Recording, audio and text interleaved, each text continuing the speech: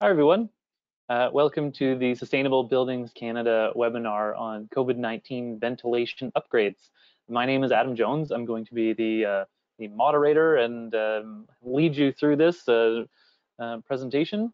Um, right now, I'm going to, uh, hopefully you all know what we're in for. This is the description of the, the webinar here. Um, we have three great uh, presenters who are going to stick around for a bit of a panel discussion after each of the presentations. Um, and uh, here's an agenda. So we're right now, here we are at 10 o'clock. Uh, my name's Adam Jones, as I already said. I'm gonna welcome and uh, introduce the topic. We've got a few things to cover, just a little bit of housekeeping, um, and then we're going to get right into uh, the, the big presentation with Josh Lewis, um, Kara Sloat, and Tony Capito. Um, and as you can see, they're going to each cover sort of a, a different angle on this topic um, and then come together for a panel discussion at the end and hopefully uh, you will have some questions for them. We've got some questions preset, but feel free at any time uh, to just type your questions into that question pane in the uh, GoToWebinar control box, and then uh, we'll collect all of those for the discussion at the end. If you have any questions um, throughout, feel free to just send me an email there, adamjones at sbcanada.org, and I will get you sorted out.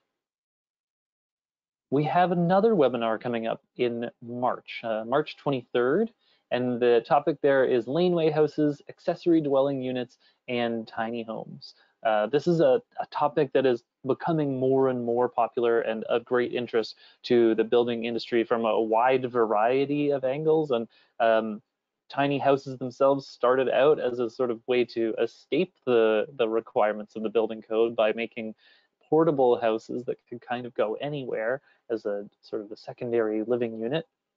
Um, and now they're being adopted into the building code, um, into planning regimens. Uh, we're seeing them um, touted as a way to solve uh, the housing stock problems that we're facing in the country, uh, perhaps to address affordable housing, um, definitely availability of housing. Um, so we're going to review sort of the the topic as a whole, what does it mean for these new types of buildings for builders, for planners, for property owners? Um, and we have two great case studies on uh, the development of a laneway house in Hamilton, um, and then a tiny home development that's part of a bigger uh, affordable housing project in St. Thomas.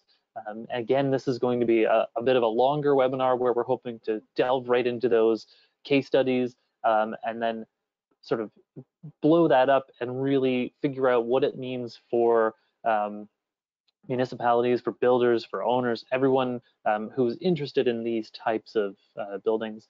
Um, how can we how can we make it happen, and what are the challenges that are are already presenting themselves? So if you go to there, there's a link there, tinyurl.com slash SBC dash March 2030. That will get you uh, to the registration page uh, for that webinar. And as always, I have to draw attention to our uh, research papers or white papers at Sustainable Buildings Canada's website, sbcanada.org slash white dash papers. Um, we have sponsored a lot of research on a variety of sustainable building and sustainable architecture um, uh, topics. Uh, here are three that are somewhat related. Um, the Leading from the Future, Pathways for Resilience in Ontario was written pre-COVID and it was uh, um, looking at um, more environmental based shocks. Um, but I would say that uh, COVID-19 is certainly an environmental shock, um, just from a sort of uh, a different source than we were expecting, perhaps. Um, the other thing that Sustainable Buildings Canada did early on um, in the, the pandemic uh, was developed a rapid response uh, collection to help people uh, in the building industry address this. And now, our at the time, we were thinking the big the big challenge is going to be, you know, how are we build, going to need to build temporary structures, um, you know, dealing with uh, the huge numbers of, of, medical cases and how to manage that.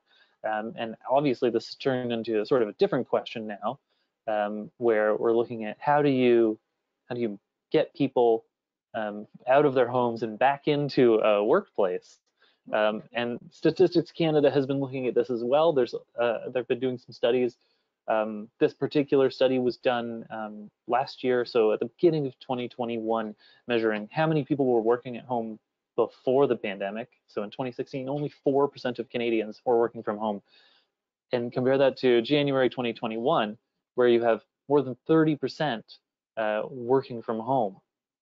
Now, what we're what we're seeing now is people, obviously, businesses and and workers, everyone is sort of looking about how's this going to look going back to work, and that's why we're here today, is to just discuss the lessons that have been learned and how to best transition back into the the buildings that we uh, work in and learn in um, and heal in, in the case of hospitals. Um, so that number there at the bottom, 24% of people are still expecting to work from home at least part-time. Um, sorry, I 20, 24% of the total time that employees are working, they think they would like to spend at home. So if I say that another way, people who were who were surveyed um, are expecting to be in the office 75% of their working time. So 75% of your working time doesn't change the requirements of the building. The building still needs to be able to filter air and deliver fresh, clean air. And that's what the topic today is. NRCan has done a little bit of work on this as well. And so we've linked this. You can see this in your, um, your GoToMeeting app there. There should be a link for this PDF. And this is NRCan's uh, self-assessment uh, tool for HVAC operation. And so it's a voluntary self-assessment tool that you can just walk through. It's just a PDF that um, sort of has built-in questions, and as you answer them, it um, it sort of works out what is the best way for you to manage the assets in your building and get to the best possible ventilation strategy. So I encourage everyone who's on the call to go take a look at that. It's certainly helpful, and it will be sort of uh, you know, auxiliary knowledge to what we're going to um, hear today. Speaking of today, here's our, our presenters today. So we're going to start out with uh, Josh Lewis from Nerva Energy, and then Kara Sloat from Hammerschlag and Joffe, and then followed up with Anthony Capito, Tony, uh, from Mohawk College. Um, and it is a very, uh, I'm, I'm really looking forward to this, this presentation and the panel discussion afterward. Um, this is a really awesome group of people who've been working on these challenges throughout the pandemic. Um, and so we're going to learn sort of best practices, what specifically um, has been done and what's working. And then um, Tony's going to sort of follow this up with really good detailed lessons on what has been learned specifically at Mohawk. Um, and so we can learn a lot about the uh, schools and how schools are addressing the ventilation requirements of this um, COVID-19 driven um, upgrade. So with that, I'm going to invite Josh Lewis to join me here and then let me just give Josh uh, presenter controls. Okay, should be good to go, Adam. There we are. Great, I'll hand it over. Thanks, Josh. Much appreciated.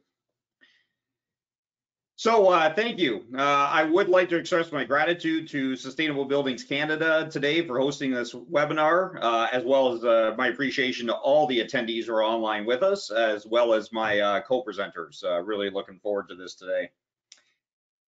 So when COVID-19 became a pandemic in 2020, there was an immediate realization that the risk of transmission within buildings was likely very high due to the aerosolization of viral particles. So this forced building owners and operators to quickly implement strategies to improve indoor air quality and reduce the risk of disease transmission. However, many of the common strategies to improve indoor air quality can lead us down a path of reducing the energy efficiency and increasing the carbon emissions of our buildings. But for both our health and the future of the planet, we must achieve a balance between efficiency, air quality, and comfort. So when talking about the specifics of COVID-19 transmission, the ranked risk of vectors is as follows. Number one is certainly person-to-person -person transmission. Number two is airborne particles. And number three is contaminated surfaces. Now, these vectors are certainly not unique to the current pandemic. More commonly, they're also applied to seasonal flus and colds. While it's impossible to reduce the risk of disease spread to zero, as a society, we have implemented several specific actions to address each vector. So when we consider how to reduce risk, there is a certain order that should be followed. This is called the hierarchy of controls. It is advisable to follow the hierarchy as shown here for a fitness studio, rather than jumping immediately to what is perceived to be the easiest control measures. Well, you might ask yourself why. Well, it's because the effectiveness of the measure decreases as we go down the chart. Starting with elimination is the most effective control. If we can keep the virus outside the walls of this fitness studio, the risk of transmission is virtually zero. And, you know, we can do that through vaccinations and eradicating the virus in the general population. Now, next, we could substitute the studio environment for working out at home or outdoors with the instructor and other participants, joining either virtually or with social distance. That can keep the risk nearly zero or very low. Now, if we do want to get back inside the studio, engineering controls are the next line of defense, and that can involve a combination of measures to improve ventilation and isolate the people and the air they're breathing within the space. If the COVID-19 infection rates are high in the community where this fitness center is located, adding on a layer of administrative controls, including reducing indoor capacity, cleaning, and temperature checks is probably a good idea. And last, and as a last resort, the use of personal protective equipment such as masks or gloves can be and should be really our final line of defense. Now, our webinar today is focused on the middle layer of this hierarchy, so engineering controls. So what are the key operational parameters that we must ensure our HVAC systems are set up to do and do well so that we can achieve a high level of indoor air quality? Well, they are filtration, dilution, and humidity. But at the same time, we have another competing priority, improving the energy efficiency and reducing greenhouse gas emissions in order to combat climate change. I'll be honest, up until this pandemic, the majority of energy conservation measures that were being implemented on HVAC systems were likely having a negative impact on indoor air quality. This is no one's fault. It's simply the end result of trying to achieve efficiency targets using traditional methods. I firmly believe that most people, including myself, fall every day into what I call the indoor air quality or IAQ trap. What is this trap? Well, if we walk into a building and it feels comfortable and we do not smell anything strange or offensive, then subconsciously our brain does not register any concerns about the health of the building. However, many studies have shown that nothing could be further from the truth. The fact is, our senses are not finely tuned enough to detect most contaminants in the air that can impact our health and well-being. But before we jump into those details, let's lay some groundwork of what can happen if one or more of these parameters has not been effectively implemented. In the early days of the pandemic in China, specifically January 2020, there was an outbreak associated with an air conditioning system in a restaurant. As you can see on the diagram, patient zero was sitting at a table on one side of the dining room on the wall, there was a split system air conditioning unit, which to the best of my knowledge had ineffective filtration, no dilution, as that type of setup typically does not include the mixing of any outdoor air, and there was very likely no purification or humidity control. So over the course of their meal, patient zero managed to infect at least eight other people on their side of the dining room. Yet, people on the other nearby tables did not get infected the working theory that is being researched is that the AC unit created a recirculating air pattern around the tables near the wall, which distributed the aerosolized virus particles in a structured and measurable way. While the final conclusions for this outbreak have not yet been published, many other studies and accounts strongly suggest the root cause identified here is valid. And keep in mind, this is long before the even more transmissible Delta and Omicron variants were concerned. So we need to ensure that our HVAC systems are optimized for a healthy environment. Does that mean safety is number one? Yes, but the larger picture also forces us to include other goals in that assessment, such as reducing risk and liability, maintaining comfort, and managing and conserving energy use. It is important to note that in almost all cases, there is no single solution that can be applied to our systems in order to achieve these goals only a logical combination of changes and upgrades are likely to be successful. So there are key considerations that we must reflect upon when looking at the details of how typical energy having that negative impact on indoor air quality. Efficiency, first and foremost, is achieved as a result of tight control of temperature set points in our buildings, both when in the occupied and unoccupied or setback states this measure is not known to have any negative impacts on indoor air quality. However, the next four are problem areas. They include only basic filtration, only operating fans when required, minimizing fresh air, and not controlling humidity levels, especially in the winter. If we want to benchmark against buildings that have above average indoor air quality, we need look no farther than hospitals and other healthcare facilities. These types of facilities are mandated by codes and regulations to have HVAC systems that move large, constant volumes of air and bring in a high percentage of fresh air into the building and have tight filtration and humidity control. Why? Well, because years and years of research and experience has shown the healthcare sector that this type of HVAC configuration greatly reduces the risk of healthcare acquired infections, such as pneumonia, staph, MRSA, sepsis, among others. However, virtually no other type of buildings are designed and constructed as healthcare facilities are. And if they were, their baseline energy consumption would be very, very high. The indoor air quality solutions for typical buildings must be different. But COVID, COVID-19 has been a trigger to force us to rethink about what HVAC systems should do. Allowing ourselves to fall into the IAQ trap is no longer acceptable.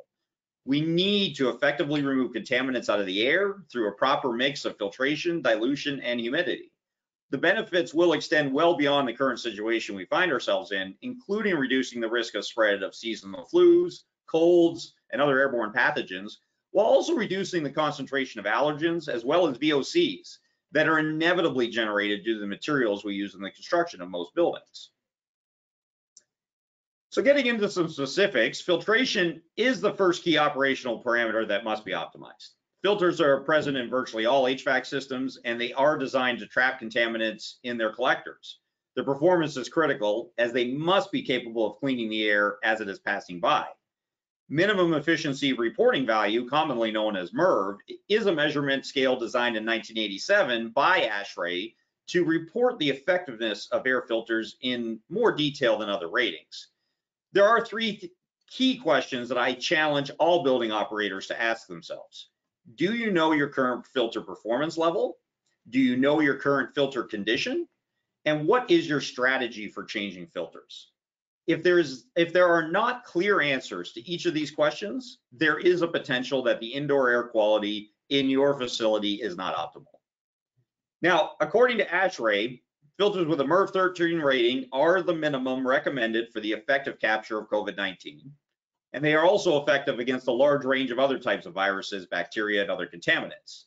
This is, however, an upgrade from the baseline state of most HVAC systems, which have typically in the past been equipped with pleated MERV uh, filters with a MERV 7 rating, or even worse, media style filters which only capture large debris and thus are practically useless against most contaminants. Thankfully, many pieces of HVAC equipment can utilize MERV 13 rated filters simply by swapping them out, negating the need for any systematic changes. But this change comes at a cost. Filters with a higher MERV rating will need to be changed more often as they will naturally capture more contaminants in a shorter period of time.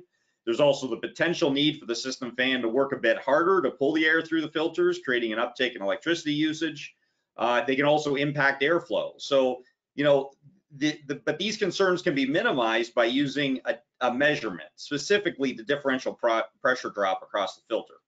The amount of pressure loss across the filter provides a clear indication of how dirty the filter is and also how much impact it is having on the amount of energy the fan is using to move the air. Electrostatic filters, which use an electrical charge to capture and hold contaminants, are a modern technology that should also be considered as they can have good performance with minimal pressure loss, although they do come at a, uh, with a much higher upfront cost. Either way, the most energy efficient, cost effective, and environmentally sustainable way to decide when to change or service your filter is to measure and monitor the differential pressure across it, then swap it out or clean it when it hits the manufacturer's recommended maximum value. Now, there has been a lot of talk since the pandemic started about HEPA filters. HEPA, also known as high efficiency particulate absorbing filters or high efficiency particulate arrestance filters, have equivalent MERV ratings between 17 to 20. This type of filter has typically been used in healthcare facilities and other buildings that have operations that are very sensitive to indoor air quality, including laboratories and manufacturing facilities with clean rooms. There are def they are definitely more effective at trapping contaminants, but due to their inherent tightness, the differential pressure drop across a HEPA filter is quite high, even when it's new. Therefore, most HVAC equipment cannot accept HEPA filters they were not designed for it. And if installed, they would cause an unacceptable decrease in the system's airflow while simultaneously having the potential to increase electricity usage. Another more fundamental problem with HEPA filters as a standalone solution is that the, while there is no doubt they capture the vast majority of contaminants, the, the method by which they do that function requires contaminants to reach the filter. If the rate of air circulation within the building is too low, then the ability of the filters to quickly clean the air will be hampered. A real life example of this are portable filter carts with HEPA that have been installed in many schools in Ontario in order to respond to COVID-19. While the HEPA filter will capture the virus under most circumstances, the contaminated air has to travel from wherever it was generated in the classroom, say by a student sneezing, to the cart. If the filter cart does not have a large enough fan, then the effective air circulation rate would be too low to reduce the transmission risk by any appreciable value. ASHRAE recommends that if relying on filtration to clean the air, then at a minimum, all of the air within the volumetric space should be filtered at least four times per hour, but ideally six times per hour. In summary on this section, filtration is the first key operational parameter that must be optimized to create a healthy environment. Ensure that the installed filters have the right performance level, that there's a clearly defined strategy to know the current condition of the filters and when to change them, and that the HVAC system air circulation rate, or also known as the air change rate, is appropriate for the filters to be effective. The next key operational parameter is dilution. Dilution can be further broken down into two major strategies, keep the air moving and the introduction of fresh air into the building. Let's start with keeping the air moving. You know, keeping the air moving through buildings is key for a healthy environment. Stale, stagnant air can expose the building occupants to several risks, including airborne contaminants of all kinds, high CO2 levels due to the breathing process of the people in the space, and odors that act as irritants. And as discussed previously, good air circulation is critical for filters to perform properly.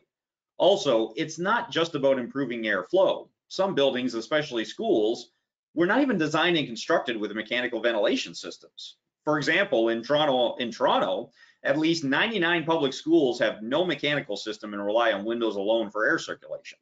While that kind of design has not been acceptable within the building code for decades, our stock of school buildings in Ontario is quite aged, averaging 39.4 years old, with many much older than that. These older buildings have likely always had less than perfect indoor air quality, which the current pandemic has now exposed. So specific actions that have been implemented to keep air moving usually start with ensuring that the HVAC system fan is running in fan on mode, meaning that during the hours of day when the building is occupied, the fans are running constantly to push air into and around the building you might ask yourself, well, isn't that how most HVAC systems are supposed to work? Well, not necessarily. If you think about the furnace most of us have in our homes, it's often set to fan auto mode, which means that the fan only turns on when there's a call for heating or cooling. If the temperature set point has been satisfied, then the, then the fan stops, as does the air circulation. While that's efficient, it has a negative impact on indoor air quality the typical way that the operation of the fan is changed and tracked through HVAC controls, also known as building automation systems. By installing, upgrading, or retrofitting the controls, the fan operation can be set up to provide the air circulation needed when the building is occupied, while also reducing energy waste by turning the fans off during unoccupied periods. The next thing to consider, uh, if the fan's running, is it running at its maximum capacity? To improve energy efficiency and HVAC systems have often been designed or upgraded to include variable speed drives, also known as variable frequency drives. These electronic systems allow the fan speed to be changed dynamically through manual or automatic intervention. In most cases, the drives have been set up on a schedule and configured with a limited maximum fan speed in order to reduce energy consumption. Unfortunately, during a pandemic, this strategy must be altered. Instead, we want to maximize fan speed, which maximizes air circulation of the existing system. When making this change, the original settings should be recorded and saved so that the parameters can be reset to their existing values once the situation which demands we prioritize indoor air quality over energy efficiency has passed. Lastly, for keeping the air moving, if the fan is on and it's set to its maximum speed, there is one more common part of HVAC systems that we must consider in order to keep the air moving effectively. It is not well known that virtually all ductwork systems leak. which impacts both indoor air quality and efficiency.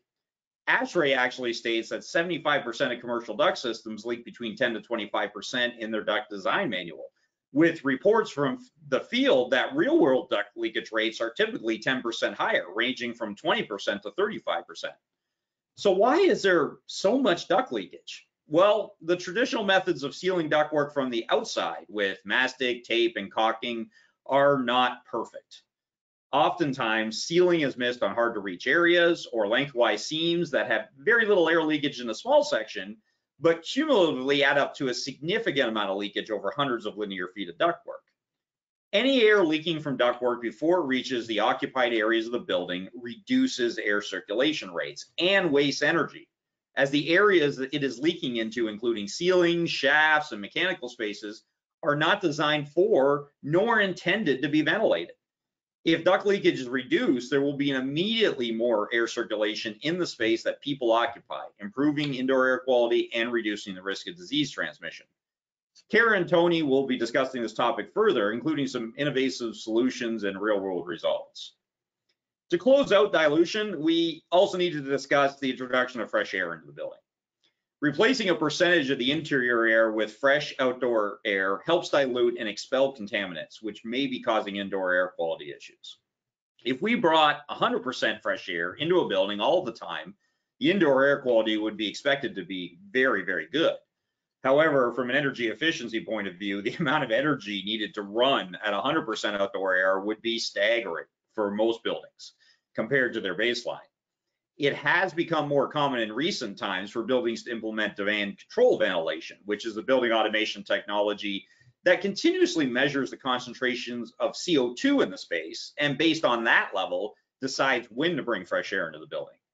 While that technology is mature and is proven to have a large beneficial impact to energy efficiency, it can reduce indoor air quality because oftentimes there can be long stretches of hours or even days where no fresh air is being introduced.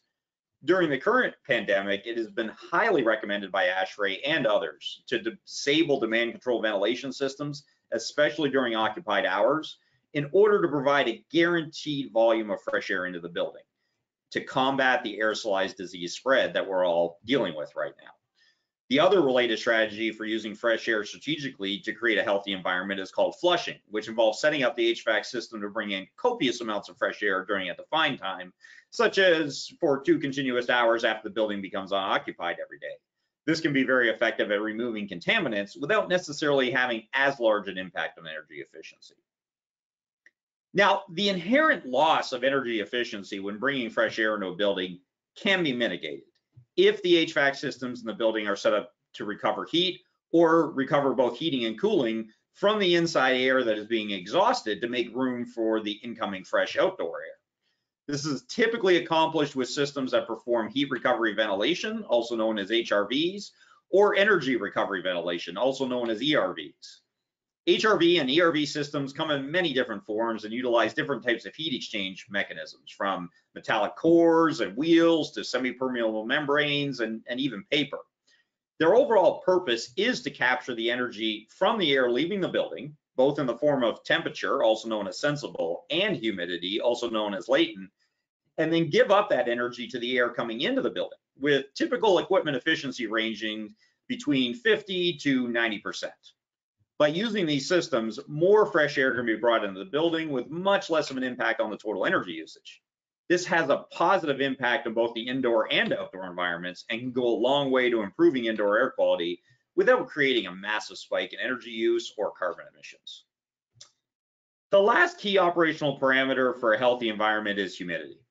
As you can see on the graph, many years of research have clearly shown that the control of humidity levels in buildings is critical to maximizing indoor air quality. Whether talking about bacteria, viruses, fungi, mites, or other contaminants, they are all minimized in the air if the relative humidity level is kept between 40% to 60%. If possible, controlling to a tighter range of 40% to 50% will also keep mold growth at very low levels. Corollary to this, keeping humidity under control has also been shown to have many other indirect benefits, including reduced absenteeism, improved occupant mood, and increased productivity, all of which are likely the result of people within the building being healthier. In the past, the most common type of building to have year-round humidity control other than healthcare facilities were those containing class A or top tier office space. In, build, in our buildings in Canada, we typically do a good job of maintaining indoor humidity levels in the optimum range in the summertime. Because our air conditioning systems are primarily designed to dehumidify the air, as that is the largest portion of the cooling load, which has to be addressed in order for, for air conditioning to be effective in our climate. But in the winter, the air inside the vast majority of our buildings will have low humidity levels, typically between 10 to 30 percent. This is directly due to the condition of outdoor air in the wintertime. It is usually cold and dry, and when it is brought into the building, either through the HVAC system or by infiltration through the building envelope, it is heated up and it makes it even drier in relative terms. From personal experience, I have seen the humidity level in an apartment building uh, in the corridor in the wintertime as low as 7%, which is just absolutely bone dry. But that is a direct result of the building doing what it was designed to do, bringing in large volumes of makeup air from outdoors, heating it up to 21 degrees Celsius and dumping into the hallway. Cold outdoor air becomes even, uh, cold outdoor dry air becomes even drier when you bring it into the building that way. The solution to wintertime humidity issues are straightforward, but it does have a penalty in terms of cost and energy humidity injection systems must be installed into our HVAC systems. In the past, these were typically steam-based, but many of those are now considered obsolete due to their high cost and extensive maintenance requirements, except for hospitals where they're still required by code. Newer humidity systems are typically based in either ultrasonic or high pressure spray technologies. Regardless of what type is chosen, there will be an installation, energy, and maintenance costs associated with it that are above and beyond the requirements of the building code but we have to do this in order to create healthy indoor environments. Finally, I'd just like to, you know, for everyone to keep in mind the, the carbon tax as well as we move forward. So if we think about what the carbon tax is, it's the market-oriented solution that Canada has chosen in order to reduce our greenhouse gas emissions, essentially making all fossil fuels and the derivatives from those fossil fuels more expensive over time, whether that be gasoline, diesel, the natural gas we use to heat our homes, and everything else that flows out of that, jet fuel and everything else. So we're on a path now with the carbon tax. The Supreme Court of Canada has confirmed that the carbon tax is, is valid legislatively. So you can see on the chart here that the path that we're on in terms of dollars per ton of emissions up till 2030. And realistically, no one expects this to stop at 2030. Um, if you uh, if you if you talk to some economists, they think that in order to meet our climate change commitments, uh, we need to be somewhere between 300 to 500 dollars a ton per per greenhouse gas emissions uh, by you know 2040 2045 if we have any chance of uh, getting to our net zero carbon economy by 2050. So, but what does that mean in terms of practical terms, in terms of our buildings, even in terms of our homes? Well, what that translates into right now is that our cost of natural gas is increasing in Ontario at a rate of approximately 13% per year. You know, there's not, I mean, we are certainly experiencing some high inflation right now across housing, across food, and, and some other sectors but not 13%. There's very few, if, if nothing else in our, in our economic lives that increases at that rate per year. But the reality of it is the carbon tax is driving our natural gas that way. And event and and that is without really any much commodity increase. So if we have commodity increases on top of that, it's going to get real expensive real quick. The point I'm trying to make here is is that are we still, you know, or are you still, you know, designing and specifying gas fired equipment for your buildings? Because if you think about that, the average piece of commercial gas fired equipment, like a boiler or like a rooftop unit, has a 20 year life, you're going to be, you know, your client or your building is still going to be paying for gas for that building in 2042 when the carbon tax is going to be, you know, at least double probably what you see here, if not more. You know, I really encourage people to to really take this to heart and and every decision we make. I've talked to some distributors of, of gas fired equipment who expect within the next four to five years not to be selling any more gas-fired equipment because of the reality of where gas costs are going, because of the carbon tax. It is it, and you start to look at the financial projections, and it makes a lot more sense now to go to low gas or no gas solutions for our buildings when you consider the 20-year lifetime and where costs are going. So in summary, uh, in order to optimize our HVAC systems for a healthy environment, uh, you know, keep in mind, like I said in the beginning, there's no silver bullet. Instead, there is a menu of complementary options which need to be weighed against each other, whether we're attempting to improve an existing building or designing a new building. Filtration is certainly key to ensure contaminants are captured. Dilution, including keeping the air moving and introducing fresh air, ensures that the filtration is effective and that the air is changed over consistently. And humidity control is absolutely necessary for improving occupant health and well-being. All of these are engineering controls that must be considered when elimination and substitution on the hierarchy cannot meet our needs. While implementing every option will likely result in superior indoor air quality, the reality is there is a simultaneous need to be energy efficient, which is not just about using less energy, but also reducing our carbon emissions as well. Uh, with that, I will now turn it over to Kara, who's going to discuss the legislative environment, the health impacts of indoor air quality, and more details on various opportunities for keeping greenhouse gas emissions under control while not sacrificing indoor air quality. Thanks so much, Josh. Um, I'm excited to talk to you guys about this today, so I'm just going to roll right into it.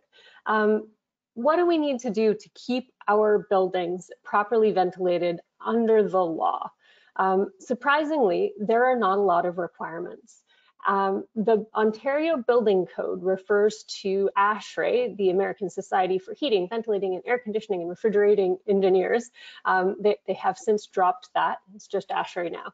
Um, but they publish a variety of codes and standards and their 62.1, Ventilation for Acceptable Indoor Air Quality, is the standard referred to by the Ontario Building Code.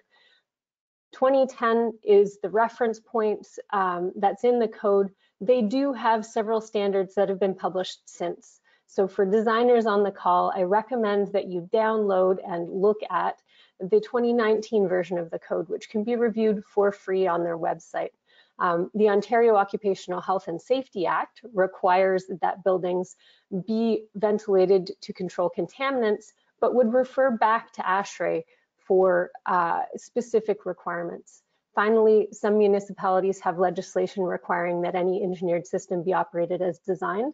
But in general, there is a very lightweight legislative environment. And this is how we've ended up with buildings that don't have ventilation systems and haven't had them installed. This is really more of a voluntary standard, even after two years of being in a pandemic situation. Uh, next slide. So given that the legislation isn't going to require us to add any specific um, ventilation measures, what do you look at when you're trying to figure out how to upgrade systems?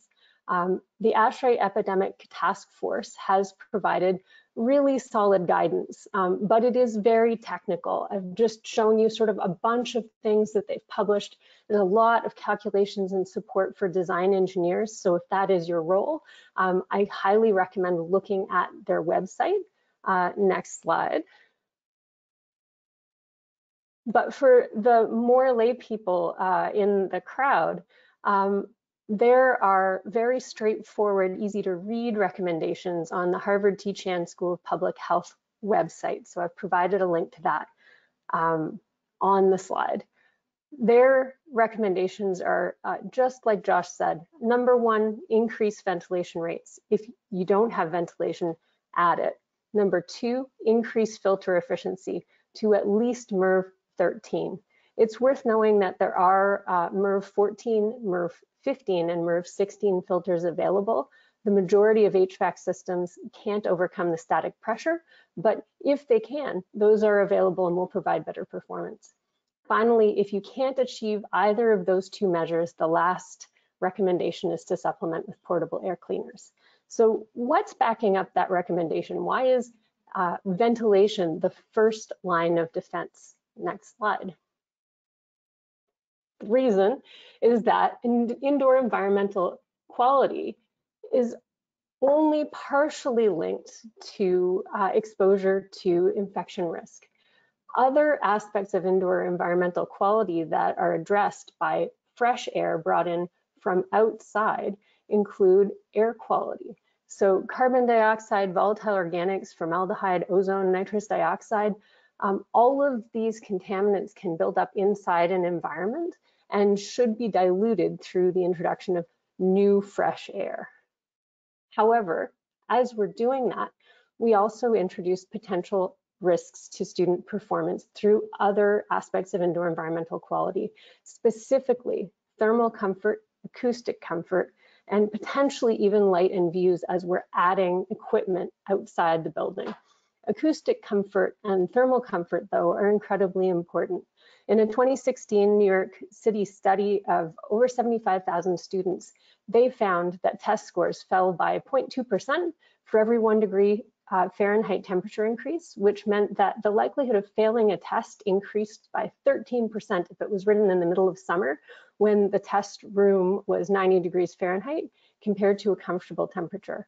Um, and the same kind of relationship has been found when rooms are too cold. Um, test scores drop by up to 12%. So what that means is we can't rely on opening windows when it's very hot or very cold outside. Um, and fan noise from portable systems or in-room systems also have a negative relationship to student performance. Next slide. I've mentioned too cold and too hot. I want to emphasize that we are, um, as we try to address problems in our buildings, also facing a new climate reality. Um, by 2040, Ontario will look more like New Jersey, Pennsylvania, or Indiana, depending on what part of the province you're in. Uh, we will be seeing a requirement for air conditioning up to six months of the year. And although we have a wide portfolio of school buildings that currently operate without air conditioning, this may become untenable for learning environments. As a result, when we're looking at adding fresh air to buildings, we should be considering systems that will either directly provide air conditioning today or easily allow air conditioning to be retrofit. Next slide. What else do we know about indoor air quality and why ventilation is an excellent first step as opposed to filtration? We used to believe CO2 was just an indicator of poor air quality, but we have learned that it is in fact on its own also a contaminant of concern. Uh, Harvard in 2015 carried out a study that showed that at very normal CO2 concentrations in classrooms uh, or meeting rooms, decision-making indicators fall substantially. Um, people are less able to take initiative, um, use a breadth of approach, or create basic strategy. So you can see on this chart how performance is falling substantially at 2500 ppm CO2 concentration um, and modestly at 1000 ppm. How does that relate to what's happening in our classrooms today? Next slide. Next slide, please. Oh, yeah, LNVL, oh, sorry, LNVL carried out uh, research in 2017 um, that showed that um, even though 2000 ppm feels to me as an engineer as a, an extreme amount of carbon dioxide, many of the classrooms they looked at were substantially higher than that throughout the course of the day. Um, you can see the medians were uh, up around 1500 ppm and that there were some classrooms they tested that topped out at four or even 5,000 ppm, which is actually over the eight hour exposure limit um, for industrial exposure to CO2, let alone um, you know, health in a classroom setting. So along the right-hand side of this slide, I'm just showing you some thresholds. Um, back before COVID, most mechanical engineers would have said that 800 ppm or even 1000 ppm would have been an acceptable target for indoor air quality. Um, as the pandemic has proceeded, 600 ppm has become a better target for uh, guaranteeing that you've got enough fresh air in a space.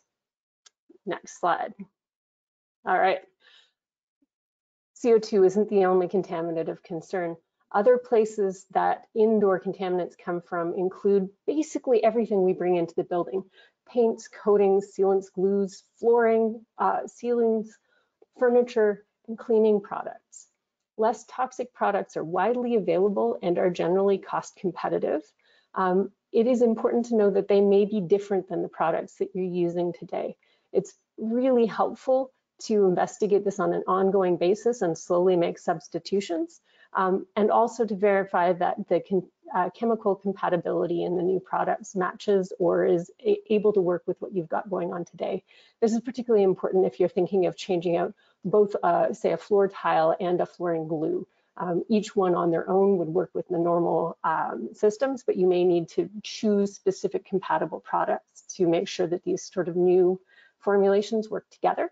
Uh, certifications to make sure that you're getting um, healthy, child-friendly uh, materials every time that you're buying things are listed along the right-hand side of the screen. So there are a wide variety of uh, certification programs available.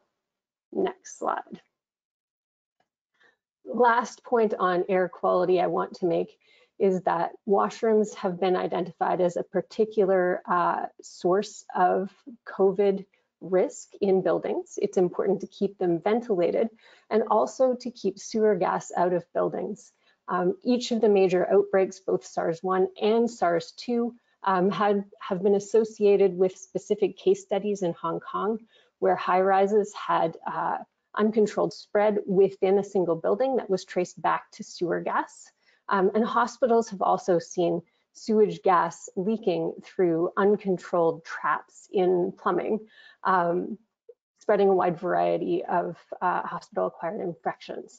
So the, the real kicker for this is that plumbing traps, I've got a little illustration on the bottom right, are, are mostly kept full of water by the use of fixtures. So when we left our buildings empty during the COVID pandemic, there's a higher possibility that lightly used fixtures in your building could have their plumbing traps dry than when we reoccupy, there is a higher risk for the occupants in the building. So how do we address this?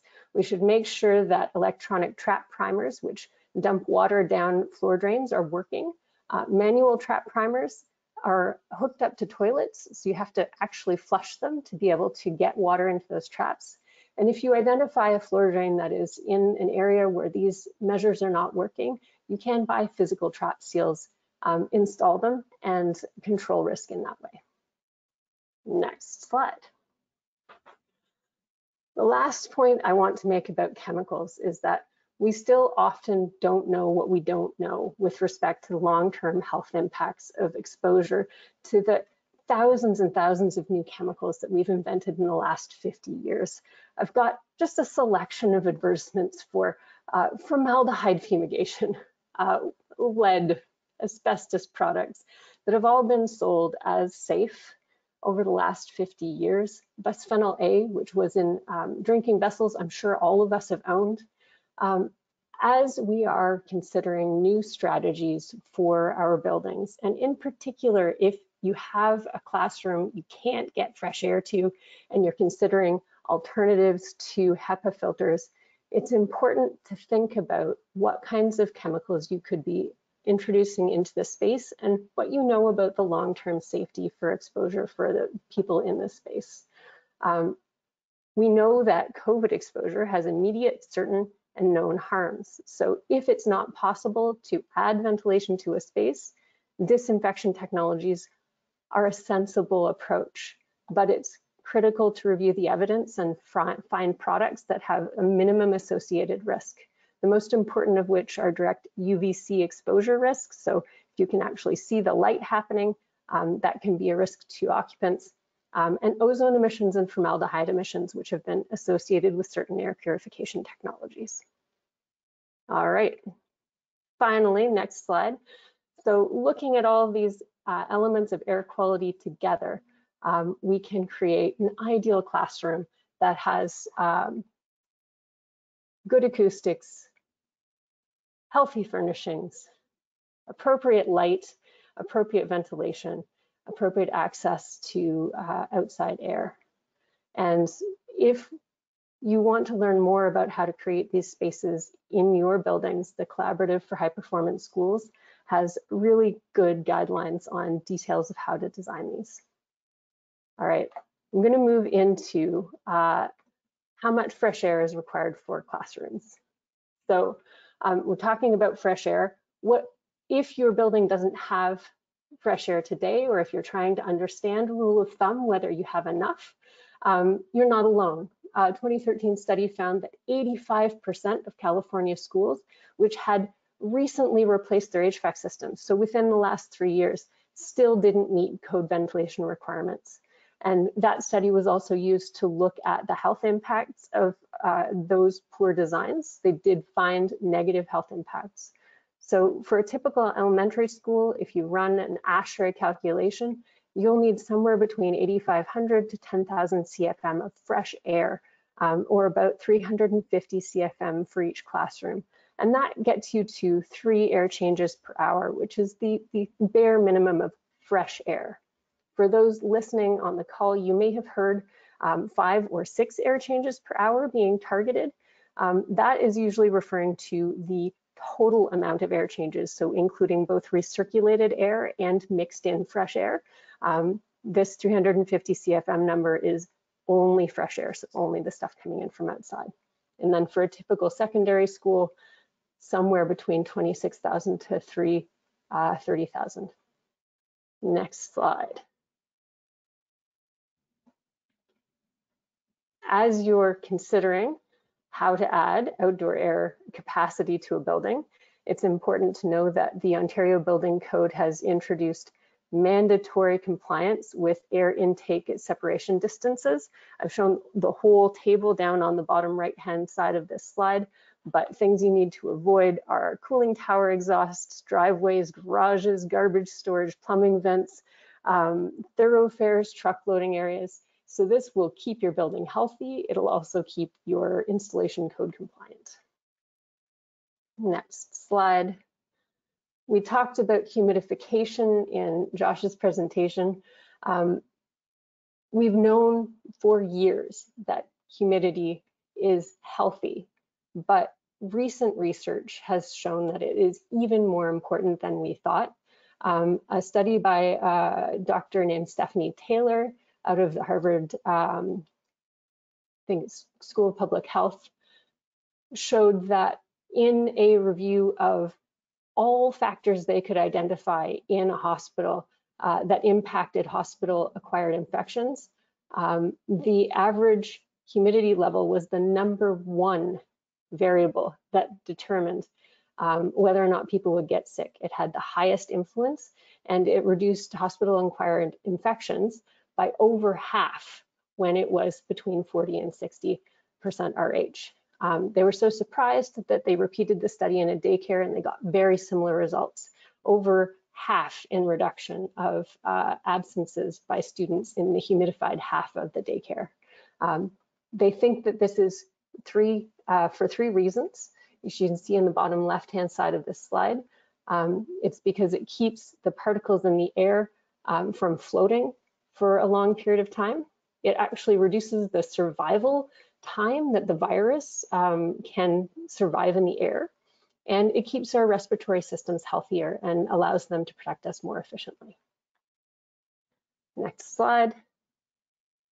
So Josh mentioned that modern technologies for humidification um, tend to veer away from traditional steam electrode generation, which is very high cost. I want to um, improve or, or uh, continue that conversation and note that uh, because most schools only operate in the winter, ultrasonic or mist humidification is both known as adiabatic humidification technologies are using the building's main heating system to make up for the energy that's required to evaporate that air. So when you add the humidity to the airstream, it actually will lower the temperature and then it has to be brought back up by your main building system. So the consumption of uh, energy by the system is much lower, um, but overall, its impact on your energy use is about half, a little less than half of what it would be if you had directly generated steam. However, the systems do require more maintenance than a steam generator to keep them safe. Um, and they require that the water that is going into the systems be treated. So from an overall operating cost perspective, you may find that there, depending on the size of your facility, is still a role for electrode steam generation. Electrode steam generation would also have a very low carbon uh, impact, whereas gas steam generation will, uh, as Josh noted, become more and more expensive to operate from 2020 to 2030. Um, your choice of which system to use may finally be uh, related to what physical space is available in your system. So using steam can allow you to have a much shorter absorption distance inside a duct um, and can potentially allow the system to be installed in more places than an ultrasonic or a steam mist humidifier could be used. So don't write off any of these technologies if you are considering a retrofit. All right. My last topic, second last topic, is air distribution. So how do we think about how we get fresh air to students in buildings? Next slide. Exhaled thermal plumes um, are a really interesting uh, part of understanding how people interact with buildings, um, both with and without masks. So when we talk, breathe, interact in a space, the air that we breathe comes out of our mouths and noses, but it's warmer than the uh, surrounding air. So you can see in this thermal imaging that there is a constant stream of warm air that's rising off the top of somebody's head. If they're wearing a mask, almost all of the air that they're exhaling ends up rising directly over their head instead of uh, heading out towards the other occupants in the space. So this is an interesting property that we can leverage to create safer spaces. Next slide. ASHRAE knows about this. So in that ASHRAE 62.1 standard we discussed earlier, there's actually a correction factor for how air is being distributed in the space that takes into account how much of the air that you're putting into the space will end up in the breathing zone and how effectively the contaminants that people are breathing out are going to be removed from the space. So um, some interesting takeaways. A normal melt well-mixed systems, that's like your standard overhead distribution with overhead return. In the summertime is sort of a standard performing system. So the calculation that comes out of ASHRAE uh, is exactly how much air you need. In the winter, however, if you're supplying air that's more than 15 degrees warmer than the room, you actually need 25% more air to get the same air quality levels. If you have a supply and return on the same side of the room, it gets even worse. You can potentially have to double the amount of air to be able to get the same level of air quality. So you can't just put air into a room and hope that it's going to get into the breathing zone, to the place where people are actually needing the fresh air. Uh, it's important to have a really careful strategy on how that air is distributed within the space. So there are a couple of changes we can make that will improve the systems. Next slide.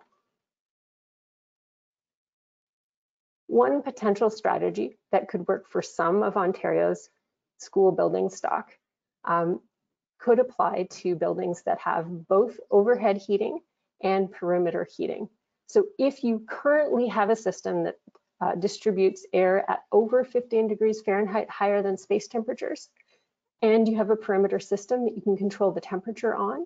If you can change your control strategy to use the perimeter as your primary source of heat and reduce the supply air temperature, you'll get substantially better air quality. So either a 25% reduction in the fresh air required, which would give you operational savings, or 25% improved air quality to help control your risk in a pandemic. Next slide uh, and click. So these are high induction diffusers. Um, this is a technology that uh, takes the air coming from the ceiling and mixes it more fully into the space.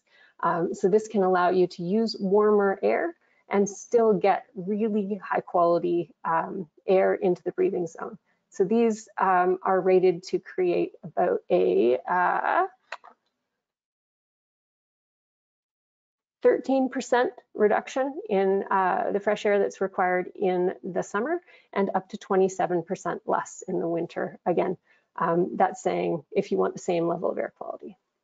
So these are quite expensive, but there are more and more uh, suppliers coming out every day. For displacement ventilation, um, this is the last and most interesting solution and more applicable to new buildings if you have at least nine foot ceilings, ideally 10, you can add air at the bottom of the space instead of at the top and take advantage of that uh, effect that we saw where we saw people have these like plumes coming off the tops of their heads. So this is a technology where we add very slow moving air to the bottom of a space and allow that thermal plume to carry the contaminants away from people's breathing zones. So this can create as much as a uh, 33 to 46% reduction of fresh air, depending on the conditions, particularly in your double height spaces. So what does this actually look like in application? Uh, next slide. There is a school district in uh, Kansas that has tried this both in their new and existing schools, but in retrofit, they have seen 15 to 30% energy savings when they have switched from overhead to uh, displacement ventilation. Uh, this quote I think is really interesting. You know, improved air quality that is noticeable, dramatically better, and a 20% savings in energy costs. Um, from a first cost standpoint, they find that it's cheaper than dual duct VAV, comparable to single duct VAV. Their standard has changed and they want to know why anyone would do anything else. Um, and as someone who has spent time in displacement ventilation buildings, I, I have to admit that I've had a very similar uh, instinct. You, you feel more alert. You actually can learn. Even when something seems like it's a, a presentation that otherwise might have put me to sleep, I realized that I, I might just have been suffering from poor air quality. So what does displacement ventilation look like in a building?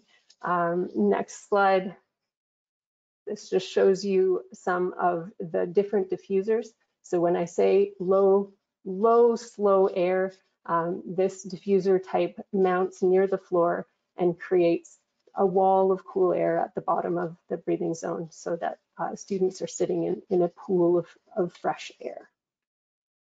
Um, my last slide on this topic um, shows another example of uh, retrofit of displacement ventilation. Um, I've got these case studies primarily because as a mechanical engineer, I was unaware that you could retrofit this effectively into buildings, but there are a number of examples of people um, cost effectively creating this solution in previously overhead distributed buildings. All right, next slide. You saw this example in Josh's presentation. Um, I've brought it back into the table so he has the cool 3D view um, of this restaurant's uh, pandemic uh, COVID-19 study, I want to note that um, as you're thinking about your classroom air distribution, it's helpful to think how many students' air is going to flow over somebody else before it has to leave a room. So next slide. There's an interesting uh, low-tech uh, ducted exhaust solution that has been tested in Germany um, where they, uh, instead of ducting supply air um, around a room, put the supply air in in one spot, but removed contaminants over each student. So this was intended to be used with operable windows. The climate there is quite mild, um, but they were able to, for less than $250, um, add an extraction fan that removed contaminants at source. So this particular solution may not be applicable in Canadian buildings. These are combustible materials. These might get in the way of sprinklers, but the concept of ducting your exhaust, getting more contaminants out right near the place where they were generated, I think is really helpful. Um, so if you have the choice as a designer or as an owner to consider supply ductwork versus exhaust ductwork, um, don't discount the value of removing contaminants at source. All right. My last slides have to do with the energy impacts of all of these choices. So how do we make sure that as we add ventilation, we're not adding too much cost? Um, if you have an already ventilated building, we estimate that you're probably using 15 to 25% of your overall energy use for heating and fans. Um, so that could be somewhere in the range of $10,000 uh, for code compliant ventilation in a school. But maybe you don't already have ventilation. So this could be a potentially a substantial increased financial uh, burden on your building. How do we re reduce that? Next slide. One option is to reduce the impact of uh, pressure drops in the system. So you can reduce the static pressure drop through high performance filters by using electrostatic technology. So these filters are an active solution that loads more slowly than a typical filter. So you have less costs for filter changes, less maintenance cost for changing filters, and a less uh, maintenance burden as well as lower energy costs. Uh, next slide. So demand control ventilation was during the early part of the pandemic recommended to be entirely disabled, but with CO2 monitoring in classrooms and careful management, it can be effective to stage controls um, such that you flush a building entirely before you shut it down for the day, and then turn on ventilation only as spaces are occupied, and then leave them ventilated till the end of the day. Um, and once the pandemic is over, this uh, measure would then turn off when a space has people leaving it. So you're only ventilating the spaces you actually need. Um, of the 8,500 CFM that I said you typically need for a elementary school, it's worth noting that there's only 450 CFM worth of actual occupant requirement in this space. So um, you have about double the total requirement because not everybody is in every space at once. So demand control ventilation could be pretty important for energy savings. Uh, next slide. Josh did a great job of describing uh, ERVs and how they work. Um, I wanted to note there's two major types, wheels and aluminum reversing cores. Aluminum reversing cores are a newer technology, but they're really evolving and there are many new suppliers in the Canadian market. Um, the thing that's really neat about them is that they are incredibly efficient in heating only, which is very applicable to schools. We're very lightly occupied in the summertime, so the fact that we don't do good humidity control, wheels are excellent at humidity removal, um, whereas aluminum cores, pretty good at humidity in the winter, um, but require higher air conditioning costs in the summer because our buildings are lightly occupied in the summer, these are a really good solution for our buildings. Next slide. Um, the most important thing I want you to leave with if you are considering a retrofit of a building um, is that ERVs only work if you are actually recovering energy from your exhaust streams in your building.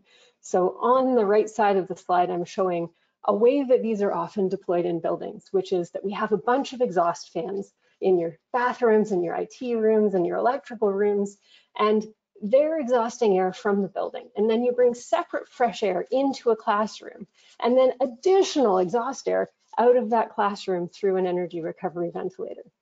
If this is how your building is built today and operating, then you're still losing all the energy through those exhaust fans. You're not recovering the energy through the exhaust fans, you're actually just bringing additional exhaust air out of the building. So you're not going to get the energy savings, even though you are going to temper the air coming into your HVAC system. So it's really, really important as you're considering these retrofits to try and find a nearby location where air is being uh, exhausted from the building and try and recover energy from that source. If you have central air handlers, that's great. You can add this there. Um, but taking the additional budget to duct real life, real required exhaust back to the unit is critical. All right, next slide. Um, you can also reduce your air volumes by doing duct sealing. We're gonna hear more about that in the next section, but it's got about a 5.3 median payback, 5.3 year median payback. Um, next slide. So I want to show you now in a waterfall graph how all of these energy savings measures will add together to reduce the impact that ventilation has on your overall operating costs. The first and most important thing that you'll do is turn off ventilation systems when the building is unoccupied. I've run these numbers assuming a 12 hour operation period, so a two hour pre and post occupancy flush to comply with COVID guidelines. But still, if you left them on overnight, you're gonna see 62% more energy use um, than if you turn things off. So this is the most important thing you could do. Then my next slide um, assumes that you've turned the systems off.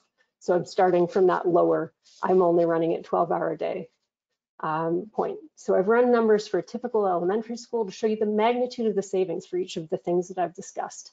Displacement ventilation would give you 27% savings over a standard overhead system. Adding demand control, potentially 29% savings.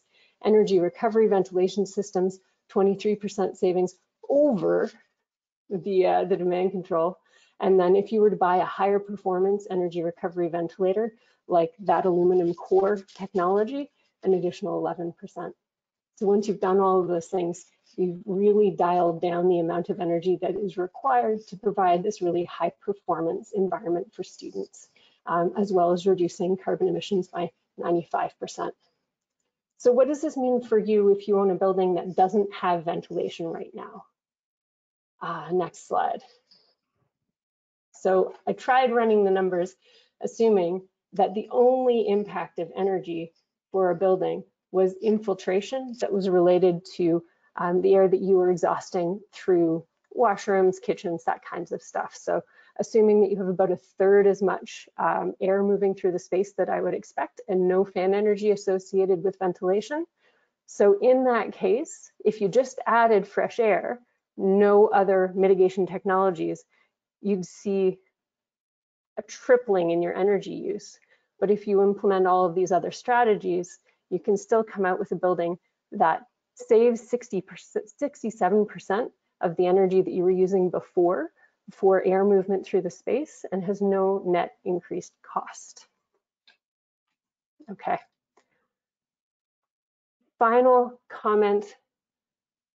Opening windows is not recommended for peak of summer and peak of winter, but you can get really good performance out of a building if it's designed for proper cross ventilation in the shoulder seasons.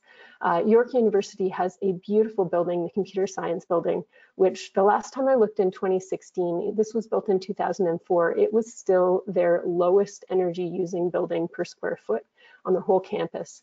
Um, and the way it's accomplishing that is by having um, passive energy um, use through uh, fans that can draw energy or draw air into the building from outside when the temperatures are appropriate and having a high level exhaust, you can see they have this little tower um, that draws air through the building into atriums and then out of the top of the building. Um, and these cross sections you can see at the bottom of the screen are typical for almost any high performance building.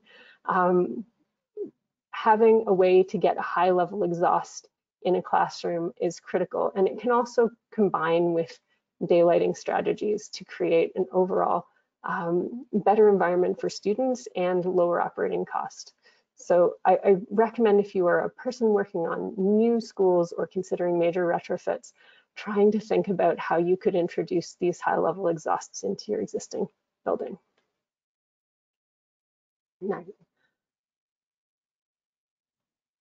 Before leaving you, is that's a big concept. I'm going to give you an easy one. Um, double height spaces can have better air movement simply by adding fans. Um, you've got a lot of unbreathed air up at the top, and so if you don't have displacement ventilation, um, in the winter time, you'll get both energy savings and better air quality overall by moving that air at the top of the space back down to the bottom. So these fans um, are available with simple incentives and can provide up to 30% energy savings in buildings. Um, if you want to learn more about energy savings for schools, um, ASHRAE has published a number of energy efficiency guidelines. Um, these books, uh, there's one for 50% energy savings and one for zero energy.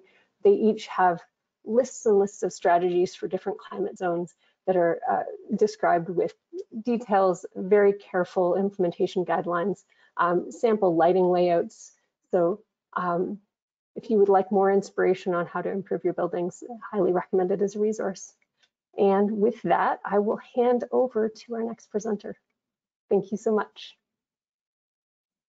All right.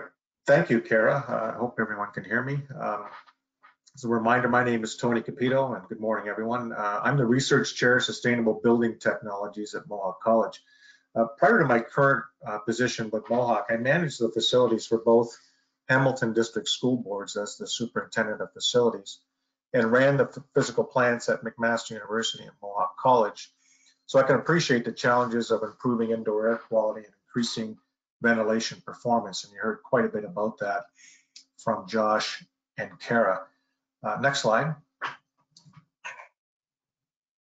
One of the uh, things I'd like to do is uh, share a, a, quote from a colleague of ours, Peter Varga, who likened uh, buildings to uh, the human anatomy where they need to breathe, they need to function optimally, and um, ensuring that the building works the way it should uh, is an important part of how the building will perform. And I think that's a great analogy, and I, I thank him for sharing that with us. Uh, next slide. The, uh, I think it's important to note, uh, Josh mentioned about the number of schools in, in Toronto District School Board that are not ventilated, but uh, effectively across the province, almost 30% of the schools are not mechanically ventilated. And, and the ones that are, uh, the systems are older because of the median age of close to 40 years.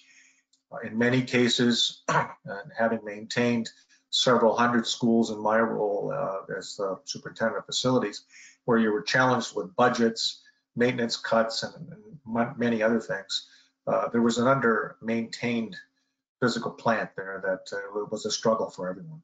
And uh, there were always standards that you're trying to achieve, but original standards are now, uh, or the original standards of the design of those buildings are certainly obsolete and uh, are, are difficult for everyone when something like a pandemic hits. So we know that there's uh, you cannot simply tear down schools and rebuild them. There has to be some other processes to help out. Many there were many techniques identified, uh, but I'll share a few of them here, and we'll um, see how we can move forward with that. Next slide. One of the key strategies, and certainly Kara uh, noted this, is that we want to get fresh air into classrooms. Uh, that is a challenge, uh, certainly with our uh, weather um, demographics here where it's not easy to do in the winter because uh, either it's too cold or in many cases windows don't open properly or don't open at all. I worked in uh, many facilities where they were, uh, were requested to be uh, shut tight. And there are also uh, challenges with how to do that in, in some type of a financial um, sane way because it can be very expensive to put in a, a, formal system into an unventilated school. But what many are doing is putting in unit ventilators. You can see an example of one there. Uh, it's it's a relatively straightforward way of, of improving the ventilation in a particular classroom or a larger room, uh, and and very straight, straightforward way to do it and be very effective at the same time. Next slide. One of the uh, difficulties that I've experienced in many of the schools, and I'll reiterate this as we move forward in other slides, is the challenges with proper maintenance of filters in schools in particular, and other buildings as well. Uh, Josh uh, went over a lot of detail about filters, but you can see uh, challenges across the board. Uh, difficulties with uh, not having a good schedule to maintain and replace dirty filters. You get pressure challenges uh, and inappropriate filters that are used, and they can often collapse, which is, makes them virtually uh, uh, ineffective at all. And then you get complete misapplications of filters, uh, and, that's uh, maybe a rare example, but certainly an example of what you could see in any particular building where someone jury rigs something to try and improve some filtration performance. Next slide. Uh, humidification was talked about and, and in many schools I've experienced uh, humidification systems where there are some challenges. Uh, they're often inappropriately uh, engineered for the building where they are installed. often they're they're not sized correctly, and you have a lot of difficulties with ongoing maintenance. Uh, having had these systems in many schools, my experience has been, for the most part, many of them have been abandoned, as opposed to uh, improved uh, uh, performance by regular maintenance or otherwise. Some are working, but many are not. And this helps paint the context of what I'm going to be talking about. So you have issues with humidification, filtration, and, and some other system uh, challenges because of the ventilation issues. And that leads me to you know what we'll be talking about very, very shortly. Next slide. Uh, we, we've been at, at, Mohawk College, we've been very fortunate to work on a uh, very active program with a number of schools across Ontario. In particular, close to Ontario, uh, Mohawk College, which is in the Hamilton area, of course, and the 10 local district school boards around there, but that is now expanded to across the province with uh, many of the school um, districts that are mentioned right there. And we now have over 320 participating schools in a program that is working on ventilation improvements for schools. And um, I've been in, uh, personally involved in this program since the inception, and uh, we're the official research and, and, validation partner working with students and others to help with uh, ensuring that the performance of these buildings improves. And we're uh, pleased to have uh, an opportunity to work with these school districts see if we can impact their absenteeism. We know that with better ventilation and better technology, uh, we can improve absenteeism, particularly as it relates to the pandemic. But prior to all that, there were still challenges with colds and flus and everything else.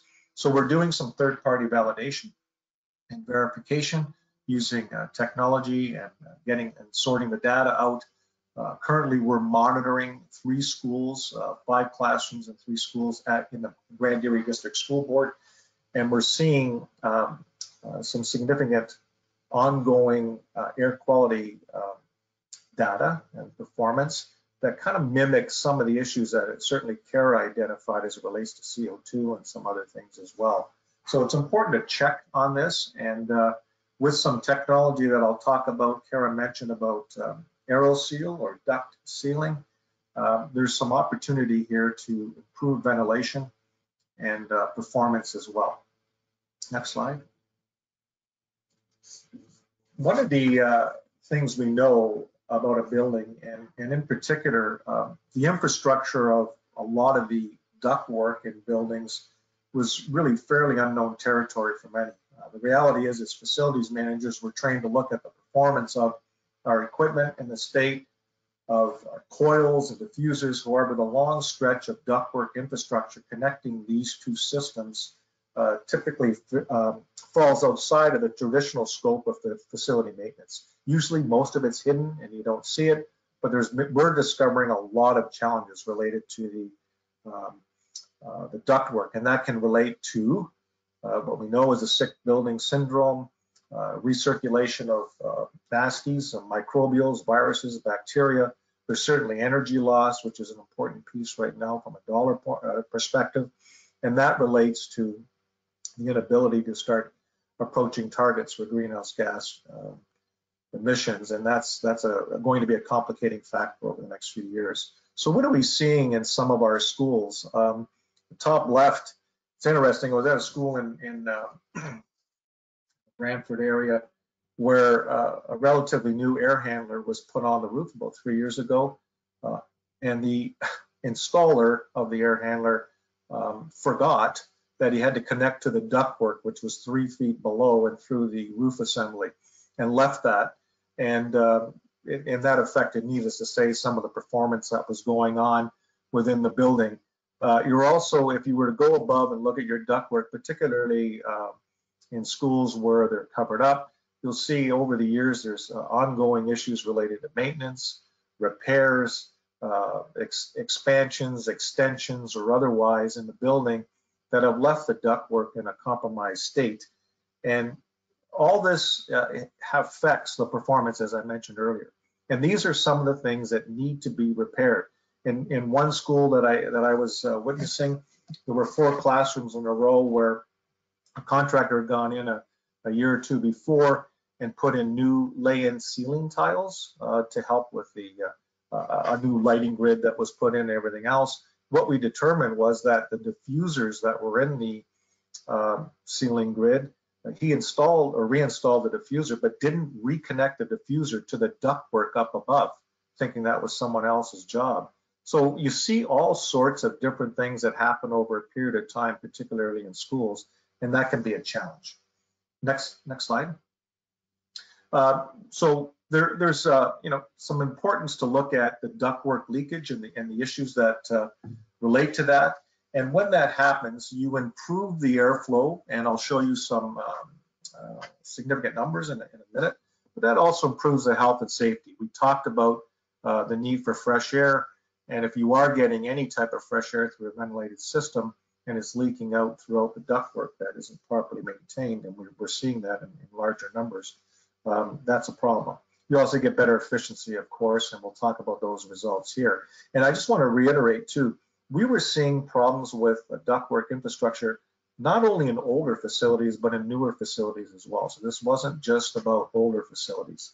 So here's some of the results of some school districts that we visited.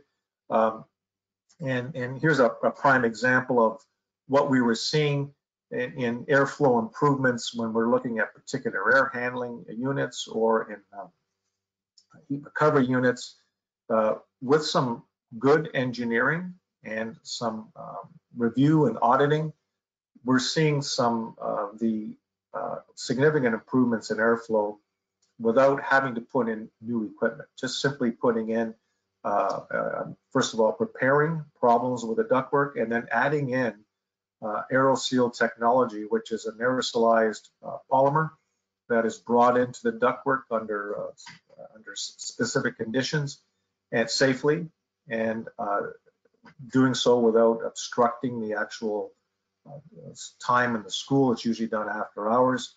And we're seeing those types of improvements in, in the airflow. So that's uh, something that uh, is important to see.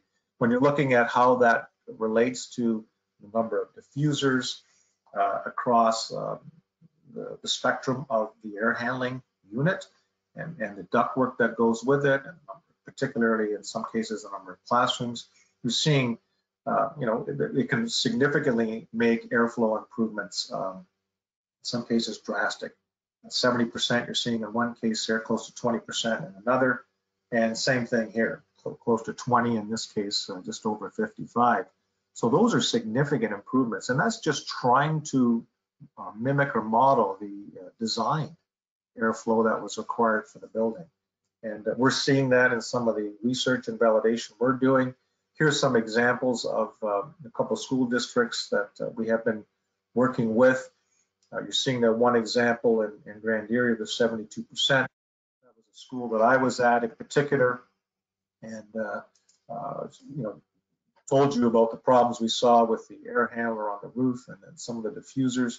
And these are just typical examples of what we're seeing across, across the spectrum. So on average, uh, in that in that board and some others, Trillium and uh, North, North District Board, you're seeing some uh, significant changes and improvements in airflow, averaging uh, over 36%. So that's excellent. And, and again, without having to change mechanical systems, but just simply improving the ductwork and, and uh, some repairs that are much needed repairs that are necessary across the ventilation system one one of the things that is important to, to know, uh, and was mentioned earlier, that there is some good engineering and auditing that is done in this particular process uh, with Nerva Energy in this example. And what we're uh, pleased to say is that they were able to um, have post airflow CFMs that are approaching the design airflow. That that was important. And in all these particular schools, it was it, it was a result of uh, poor uh, ductwork and ventilation systems that needed repairs, significant airflow improvements, that translates into uh, energy savings. And Kara noted some of that in, in her research, but certainly uh, we're seeing some good electrical savings and gas savings, which easily easily translate into the greenhouse gas reduction requirements that are important and need to be tracked um, as we try and meet our targets as institutions across Ontario. So we're we're looking at uh, good improvements in energy bills, uh, reasonable uh, ROIs if that um, needs to be translated. Certainly, carbon reduction is an important piece, and as we try and reach those 2030 goals, uh, this is a good step in the right direction. By improving the uh, ventilation through the uh, ductwork, we can, in some cases, avoid some unnecessary unnecessary capital costs it's not uncommon to have to replace uh, rooftop air handling units and other systems. If the ductwork is properly sealed, you could probably and likely downsize some of your mechanical systems, which is a significant cost savings in itself. So that's an important piece. And with some good uh, maintenance and repair that we're talking about here, it extends the life of your ventilation system and starts to allow you to have a develop a proper maintenance schedule that will ensure that this doesn't happen again over the next uh, few decades.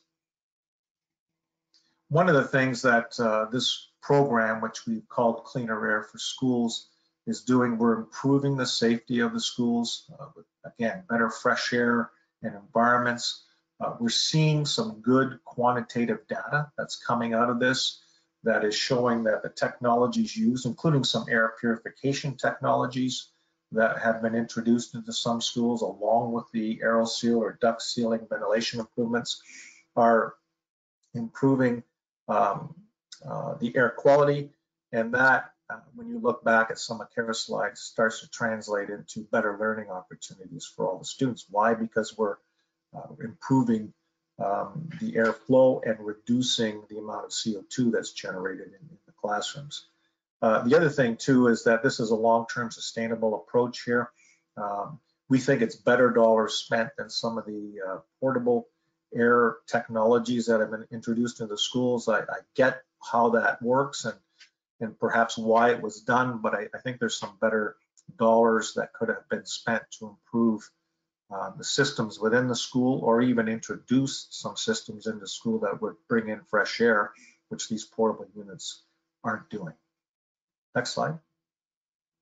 Yeah, so that, that wraps up what I was um, talking about, and I think there's been quite a bit of information that's been shared for here, and I'll, I'll turn it over to uh, Adam, who can maybe uh, steer some of the Q&A that might have come up, and between myself and Josh and Kara, hopefully we can answer some of your questions. Thank you for your time, everyone. Thank you, Tony and Josh and Kara. Um, that was that was really detailed, and we do have a, a lot of questions. Um, first, what I'd like to know is um, if this the the approach that uh, Tony just sort of walked us through um, is driven by the i mean i know in this particular case with schools it's driven by uh, the the covid-19 um, funding sort of from the government. Um, and i'm wondering who within that system is is driving the upgrade. Is it the mechanical engineers? Is it the operations uh, management team? And um, sort of you know who's who's organizing this uh, upgrade plan I, I can start with that, uh, Adam, and then I'm certain Josh and perhaps Kara would join in. But what we're experiencing, uh, particularly with uh, many of my former colleagues in the role of facilities, is that the demand is coming from all sectors. You have, uh, in some cases, you have um, teaching staff who have concerns about the air quality that are coming in there and uh, maybe perhaps demanding uh, a better understanding of how these systems work. You have parents who have a concern, needless to say, with uh, their, their uh, children being in these schools and whether these schools are meeting any particular ventilation standard. I, I, I think the uh, systems that were introduced, uh, funding that was introduced by the provincial government, particularly to put standalone HEPA fan units in the building, was uh, in somewhat uh, an approach to appease individuals or others who may have a concern, but the truth is, as you dig down into details, uh, the functionality of, of those particular units as it relates to the amount of fresh air that may be in the room, with the fact that 30% of the schools or so aren't even mechanically ventilated, there's there's um, a lack of efficacy of those particular units that's really resolving some of the issues.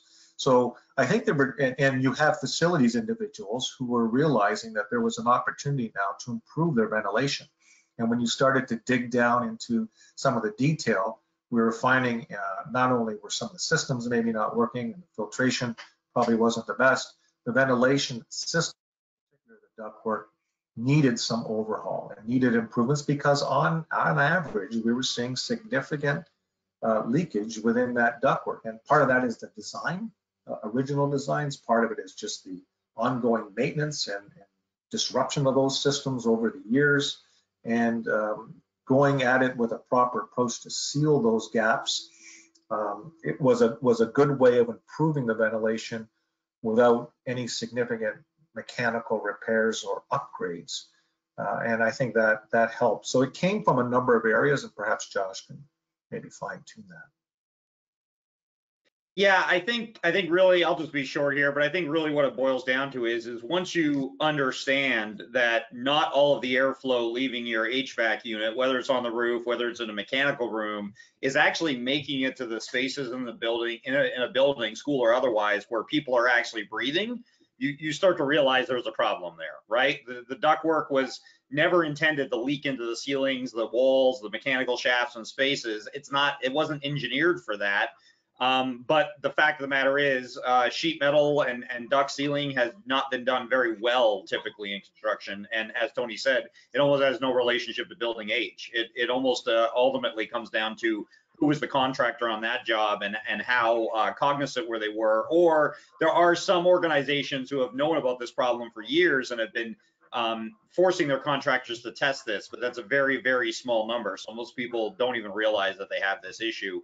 And once you expose that, why not make the systems on the building that already exist work better before we start to throw these portable carts everywhere, which may not be uh, sustainable or maintainable over the years. The HEPA, the HEPA cost for HEPA filters alone is going to be a big budgetary line item as long as these school boards have to cover it. And uh, I don't suspect that's going to continue forever. Um, and, and, and I also uh, and I also suspect that a lot of the HEPA filter cards are not properly sized for all classrooms. So uh, we have to we have to use supplementary measures as well. Okay, thanks. Um, Kara, would you do you have anything to add there? No, okay, I think well, guys we, have covered it. Okay, we have a, a, question directly for you, and it ties into another question that came in earlier. Um, so I'll just read this one verbatim and then I'll let you answer that. And if I can tack on the other questions that are around it, we'll, we'll try to do that. Um, okay, it, it's known that warm air entering a space from the mechanical system rises and works well to make the user comfortable. Then the air rises and can be returned. Um, for air conditioning, what might be an approach uh, for distributing the cool air to the user? Essentially because the warm air and cold air move opposite. It's an excellent question. So the nice thing about displacement ventilation is that it is particularly effective at air conditioning because it enters the space at a temperature that's colder than the rest of the, the building. So um, you sometimes have to add more air than is required strictly for breathing um, at the peak conditions. But frankly, for a lot of our schools that currently don't have air conditioning, even introducing just cool ventilation air at the bottom of the space would give you both uh, the, the, best uh, ventilation effectiveness uh, and good uh, space thermal comfort because all of the cooling actually pools at the bottom of the space, which is where the students actually are. We don't need to air condition the top of the space. Uh, with that said, that um, ventilation effectiveness chart that I had showed that overhead distribution of cool air is reasonably effective. It's like the standard. Um, most of the air drops and mixes because it's cooler. Um, so you end up with a well mixed space when you supply from the ceiling. that answers the question. Okay, uh, it answered it for me, hopefully for the the other questioner as well. Um, so building on that, there's a couple of other questions that sort of around this same sort of thing about displacement, ventilation. Um, you gave us some examples of retrofits that have done it. Um, so one question was, would it be possible or recommended um, to add existing ducts to sort of add ducts to existing ducts uh, to get them uh, down to floor level and then particularly about schools, uh, because you know anything in a school I think needs to be sort of more durable than a typical commercial office. Um, you know, they're uh, more sensitive to exposure to students. Um, so perhaps uh, both all, all, three of you could add something to that. Um, you know, that particular challenge of adding an exposed duct for this improved displacement style. Um, oh, Tony, I'm sure has excellent uh, input on that, but the um, the gauge of metal you use has a lot to do with how well it will last over time. So mechanical engineers have a very good understanding of that. Some of us carry little gauge uh, measurers for our uh, construction admin work.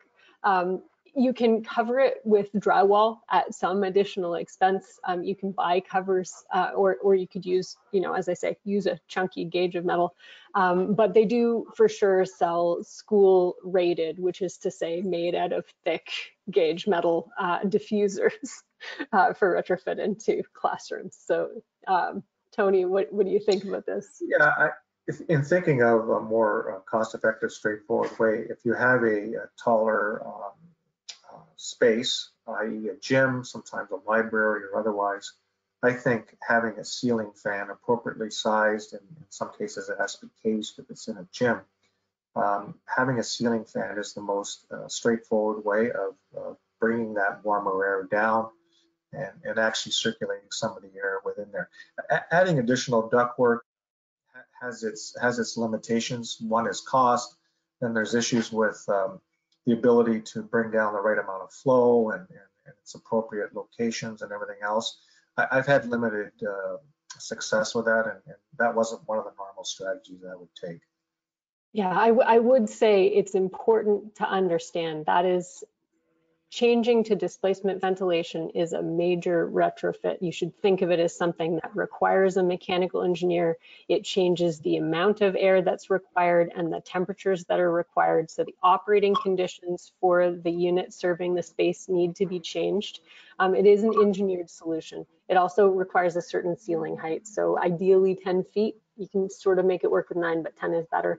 Um, I obviously haven't sold Tony on it yet, but it is it is definitely a higher cost solution that should be considered as part of an upgrade and not something that you'd be uh, adding on an ad hoc basis. But definitely for new schools, right, Kara? Oh my God. I I haven't talked to an owner who uses displacement ventilation with any regrets yet. Um, and anyone I've talked to, any school board that has adopted it it just talks about it as a matter of course. Um, it's, it's extremely effective at providing quality outcomes. I would agree. Great. Um, we have another question again that is, is sort of a, a, case study of a few other questions that came in earlier. So I'm going to use this, um, and maybe I'll ask this to Josh first. Um, so uh, this is uh, from Shauna. Uh, greetings from snowy Manitoba. In reviewing the capacity of existing systems in uh, campus buildings, we were told that many of the ventilation systems cannot handle higher than MERV 8. Why would that be? And what options in, um, in our extreme climate should we be thinking about to try to achieve safe uh, indoor air quality to return to full capacity? Well, uh, yeah, MERV 8 is uh, as a filter rating these days is kind of unfortunate, right? I mean, if we're not at if we're not at MERV 13, we're we're not catching COVID with any kind of reliability um, or anything that resembles COVID, like the seasonal colds and flu, uh, colds and flu. A, a, lot of a lot of what you have to do in terms of the filtration, in terms of what you can use, is, is really based on the performance of the fan, right? What is the curve of the performance of that fan? What RPM was it designed to operate at? At what air flows with what static pressure. That that's not a one variable equation, right? There, there there's a bunch of variables that go on there. There's certainly the design rating, but then there's the actual implementation rating, which takes into account the filtration, the static pressure as a result of the ductwork and the coils on the system and all those other types of pieces. Um, I'm not going to say that uh, what the uh, I'm not going to say that what the uh, you know your assessment said was wrong or incorrect. Let's assume it is. Um, but certainly to get from a MERV 8 to a MERV 13 is not the biggest pressure increase. It's nowhere near compares to, uh, say, a MERV 13 to a HEPA. Um, so I would I would encourage to look at solutions such as uh, changing the pulleys on the fan, if that's an option, to increase its RPM, uh, still safely within its range. Uh, and, but that might require also more horsepower out of the motor. So you, instead of needing, say, 20 horsepower, you might need a 25 horsepower motor to get that fan to operate where you need it to, so that you don't impact the airflow uh, when you change your filtration. Uh, that being said, um, you know what? If if you do just replace the MERV 8 with the MERV 13, you know what is the expected real airflow impact? Is it is it two percent? Is it five percent? Is it 10 percent of the system capacity?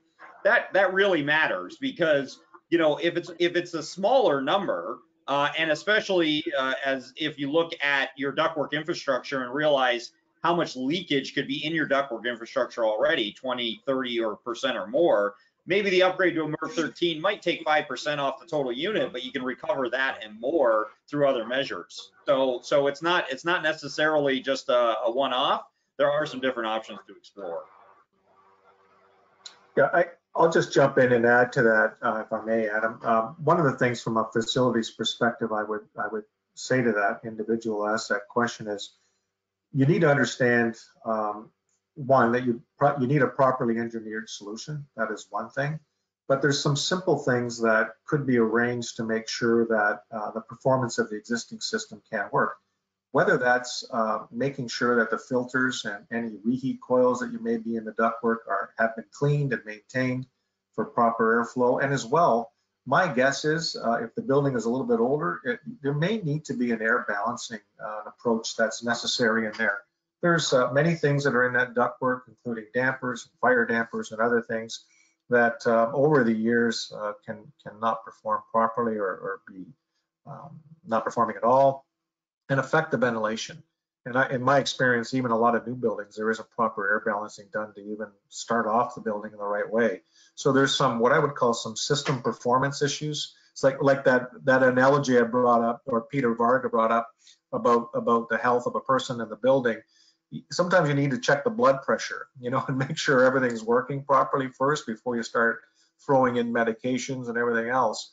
And that's often what has to happen. Some good old fashioned maintenance and checks on the system before you go and, and do certain things because it really shouldn't be too problematic to go from MERV 8 to MERV 13. There will be some impact, but it shouldn't be that much that somebody would say we can't do this. Yeah, I, I want to emphasize that Tony's case studies were uh, really solid in terms of showing that if you are the owner of a air handling system that's moving 8500 CFM today, it's possible only 6500 of that is getting to the classrooms in the first place. And it's going to be very uneven. I, I've done similar work since COVID where we found that the far branches of existing systems were getting 10 or 20% of their design airflow rates um, yeah, really horrifying. Um, that was all of the common areas, don't worry. Um, and so if you were to air seal and rebalance your ductwork, you might find that you're getting more fresh air to the space. So again, just using random numbers, if you if you were a 10,000 CFM air handler, if you're only getting 7,000 there now, then adding the MERV 13 filters, maybe it drops by 15%, but you're still going to be putting more fresh air into the space than you were initially. Um, the other comment is if it's a mixed air handling unit um, and you're considering more fresh air, at least for getting back into the building, the pressure drop through the louver for the fresh air is much less than the whole return air system from the building. So increasing your amount of fresh air could potentially allow the fan to do the same amount of work and increase your outdoor air percentage. So, uh, you know, the limitation there is when it's very cold, that your design day temperatures, that, that's going to create a temperature issue, but most of the shoulder season days, it's going to work really well. Very interesting. Okay, uh, we have a, a couple questions about this that stepping back a little bit to the to the um, filters. What about filters that are um, not MERV rated. So smart filters that um, have sensors that tell you, you know, sort of how it's operating, and, um, but that are not MERV rated. Um, how do you, uh, first of all, would you recommend those types of things? And how do you, um, how do you sort of manage something that is outside of this uh, regulatory structure that ASHRAE is using. Has that anyone else anyone. seen these?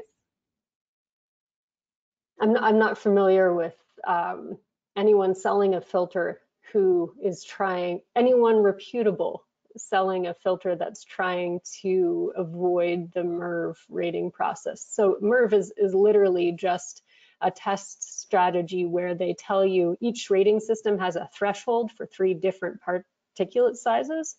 Um, and it sets up the standard testing conditions in those various different locations. So the electrostatic filters that I put on the screen in my presentation, um, they make some claims about the MERV rating of the filter when it's turned on and when it's turned off.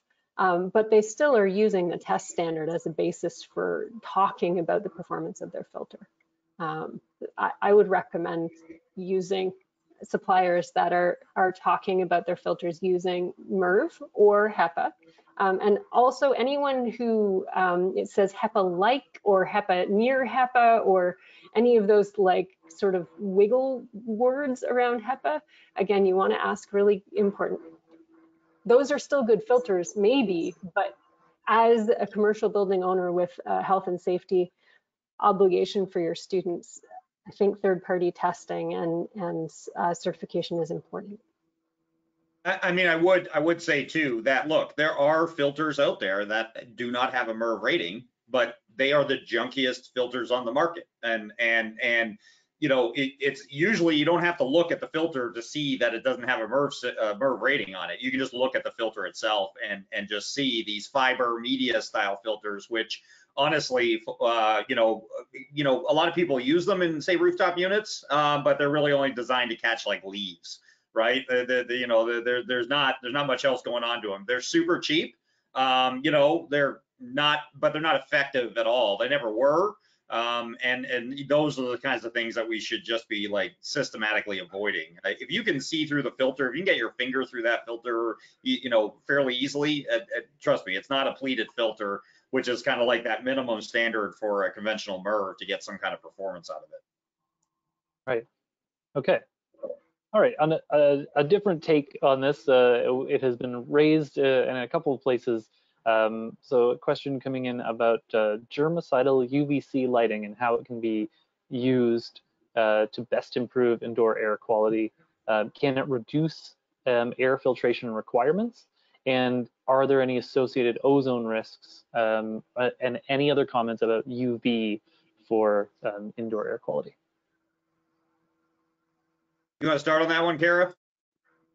Sure. Uh, so the reason that we really focused on filtration in this presentation is the place where every uh, panelist agrees, and in fact, where all of the certificate, certifying and, and rating bodies agree. So if you go to the CDC and ASHRAE and um, there's one more, um, that, that sort of are all trying to come to a single place where they are sure about the best way to do things. Filters have a known performance and they have very few application concerns. UVC has um, known performance. It definitely kills things, um, particularly in, in long residence times when the light has uh, lots of time to treat the thing that it's shining on. One of the concerns in application in HVAC is that you need a very high intensity light if you're putting it into a air handler because the residence time is very short, doesn't have a very long time to shine on things. The, the UVC has to stay clean, so you have to have a way of making sure that it continues to have the same intensity in maintaining the bulbs. Um, and there's less evidence compared to filtration um, that uh, that you're going to get that long-term performance. Um, there are definitely certifying bodies that will confirm that a specific UVC uh, technology is ozone free. But when I was looking for that certification on UVC lights for a, a, project where we wanted them just as an extra layer of protection after filtration, which we'd upgraded, um, it was very hard to find people who'd gone through the UL certification for ozone free. Um, so uh, Energy Star will also do ozone-free certification on the small, like in-room units. Um, so, so it's you know it's safe, it's effective. It does need an ozone ozone-free certification, which are available, but not very many people are using them. Um, but if you have only a limited amount of money to spend, uh, please spend it on getting more fresh air to students before you spend it on UVC lights. All right, Tony, Josh. Yeah, I mean, UVC and ductwork, UVC in upper rooms, uh, UVC in standalone boxes on the floor. Like as Kara said, there's there's no doubt that uh, you know proper exposure of air to a, a, certain level of UV light with a certain amount of residence times, you know, kills things, right? That's why we don't stare directly into UV lights because they actually burn our eyes, right? They they they do have that sanitizing effect, but it has to be, a, you know, it has to be down on the tertiary measure side um, be, be, because, like we said, fresh air infiltration uh, and and keeping air moving, it, it just it has to, and, and humidity. Let's let's not you know forget about humidity too. I mean, given the choice between UVC lights or controlling the humidity in the building, I know which one Kara is going to pick, and and probably Tony as well. So like there's there's there's simply just better places to spend your money unless you've got an unlimited uh, pit then you know it's time to look at it. But certainly no ozone. Like any any air cleaner system uh, that's UVC based or or or, or other types of uh, ionic air cleaners, anything that has doesn't have a zero ozone certification, stay stay away because uh, ozone is an indoor air contaminant. Uh, we don't want to be creating that in our spaces. Yeah, and I'll just add to that, if I may, Adam, uh, from a facilities perspective, uh, anytime you introduce another layer of technology, however well intended, it's another uh, cost, ongoing operational cost. It's also an ongoing training issue for individuals who need to understand what this is. And there's also the need to understand that this technology isn't lifelong. There's, there's UV lights like any other light burn out. There needs to be some performance metrics that are introduced. Everyone needs to know that. And I think you'll, many people will find uh, that it will be an expensive process to go through if, if any, any particular performance metrics aren't uh, quantified. And that's the challenge. Not, I'm not saying it's wrong. I'm just saying it's another layer of technology and uh, there's a cost to go with that. Okay, yeah, thank you for those uh, detailed uh, responses. Um, we are rapidly running out of time. We have about three minutes left, and I'm wondering, there's one other topic that's been raised in a few different questions. I'm hoping you can speak to it quickly.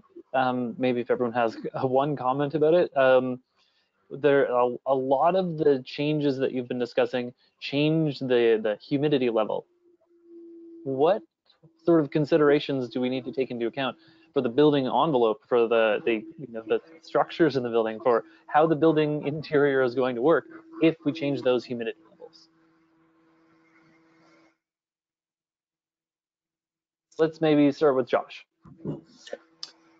Um, yeah, Kara might have a little bit more detailed answer than me. I mean, certainly, certainly, um, it, uh, the humidity impact in a building comes in two ways, right? It's a combination of the fresh air that we're bringing in um, to the building is impacting the humidity, but it is also a combination of the infiltration of the building envelope. So now, certainly with new buildings, um, all new buildings that we construct, we should be we should be making them airtight as best as possible. If we look at the standards for building performance, the Passive House standard, where the Toronto Green standard is going, the BC Step Code, all of those standards by 2030 really rely, well, Passive House today already relies on it, on having an airtight building envelope.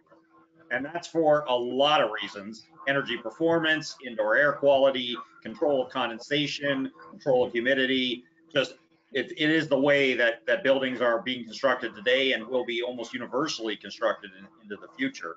But but ultimately, it's that 40 to 60% relative humidity range. Really, if we can do better, 40 to 50%, because there is some evidence that upwards of 50% RH in a building there's a slight increased risk of mold growth, uh, and and certainly once you get above 60%, that becomes much worse.